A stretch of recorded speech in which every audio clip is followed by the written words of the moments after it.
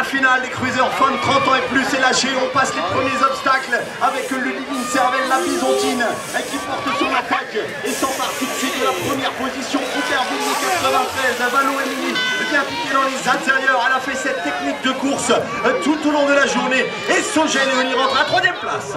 Ah oui, c'est Ludivine Sermel, la Byzantine. Attention au retour, au retour de Aubervilliers avec Valo Emily qui tente de revenir. Mais est-ce que Ludivine Sermel n'a pas dit son dernier mot Il y a la candidate du tour.